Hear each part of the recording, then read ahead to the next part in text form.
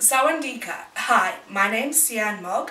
I'm 27 years old from Johannesburg, South Africa. I have a diploma in business management and entrepreneurship from Varsity College. I have experience of pairing and I have helped out at a local horse riding school with their children.